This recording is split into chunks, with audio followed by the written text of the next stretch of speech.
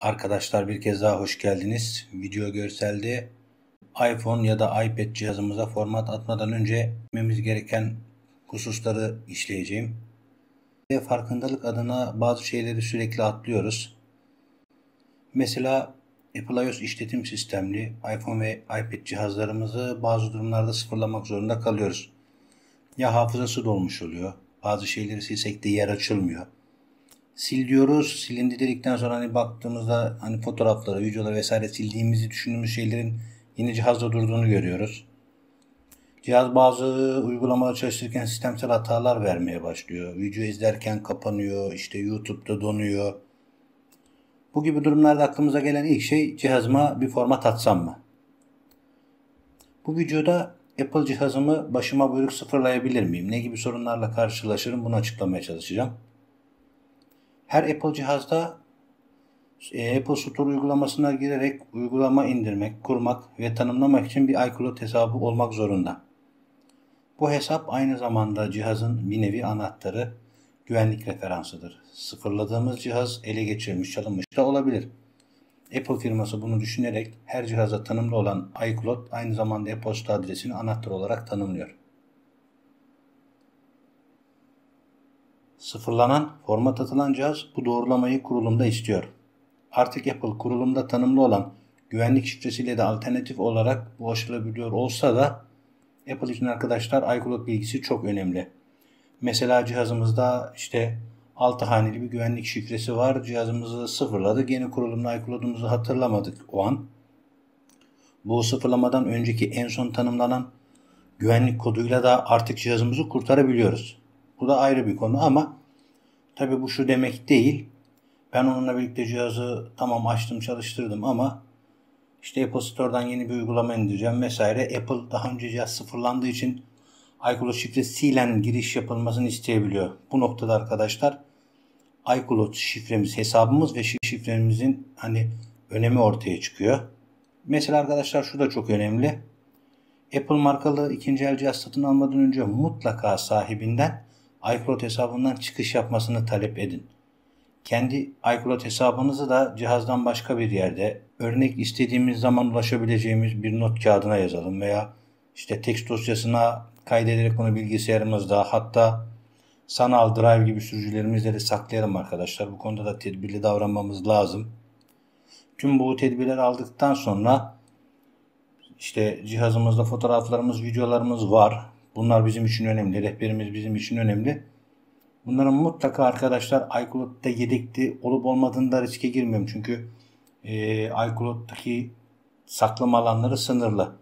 Tabi bunu arttırmak için yer satın alabiliyorsunuz ama misal veriyorum cihazınızı 2 yıldır kullanıyorsunuz. Cihazınızdaki yer dolu. Sallıyorum 32 GB belleğiniz var. Tamamı dolu. Zaten otomatik yedekleme açıksa iCloud hesabınızda cihazda 32 GB varsa kesinlikle dolmuştur. Hani buna kesinlikle güvenmeyin. Bu noktada cihazınızdaki örnek veriyorum fotoğrafları, videoları ve rehberi CopyMyData uygulamasını kullanarak da bu konuyla alakalı kanalımda bir video var. Onu izleyebilirsiniz. Bir başka cihaza Apple olabilir ya da Android işletim sistemli olabilir. Yedekleyebilirsiniz arkadaşlar.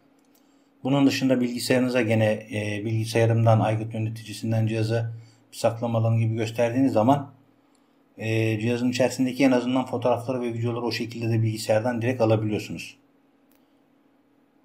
Arkadaşlar tüm bu tedbirleri aldıktan sonra artık e, cihazımızı sıfırlama noktasında hani oraya kadar geldik. Burada peki ne yapacağız?